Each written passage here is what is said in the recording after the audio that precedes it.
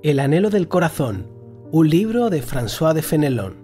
Parte 2. Una vida de sencillez.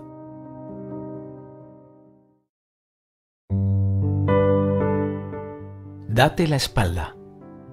Tu única tarea es sobrellevar la debilidad de tu cuerpo y la mente. La fuerza es perfeccionada en la debilidad.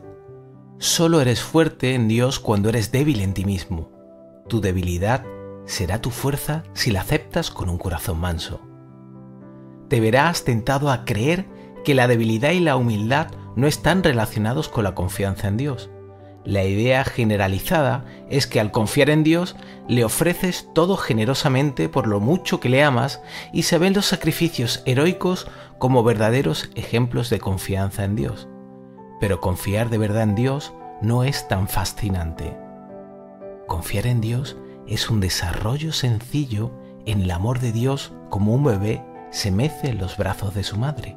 La confianza perfecta significa que debes darte la espalda a ti mismo sin, sin siquiera percatarte de que te has dado la vuelta.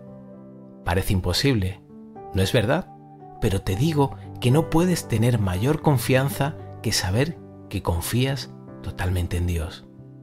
El meollo de la cuestión de confiar en Dios no es hacer grandes cosas con las que puedes sentirte bien, sino confiar en Dios desde un lugar de intensa debilidad.